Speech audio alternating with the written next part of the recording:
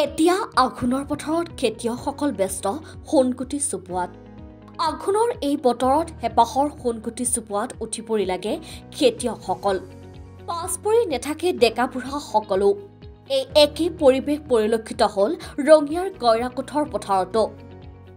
আমাৰ ধান চপোৱাৰ সময় কাতি আঘোণ মাহ আমি ধান চপাওঁ আৰু এই ইয়াতে আমি ধান কাটি ঘৰলৈ লৈ যাওঁ আৰু তাত মাৰণা মাৰি আমি ধানবোৰ খেতিৰ কাৰণে ভাখৰিত ৰাখোঁ আৰু অহা বছৰৰ কাৰণে খেতি কৰাৰ কাৰণে কোনোবাই হয়তো বস্তাত বা কিছুমানে টোপা সাজি ধানবোৰ ৰাখে।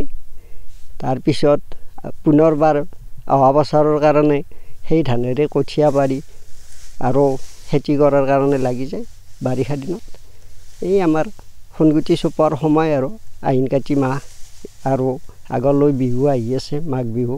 তাৰ আগতে আমি ধানবোৰ চপাওঁ আৰু এই ধান বানি আমি নোৱা নোৱা খাওঁ আৰু বছৰ দিনৰ কাৰণে আমি চাপ চপাই ল'লোঁ আৰু। আহিন কাতি মাহত আমাৰ এই আনন্দৰ হেৰি অঁ আমি ধান কাটোঁ গতিকে আমাৰ ভাল লাগে।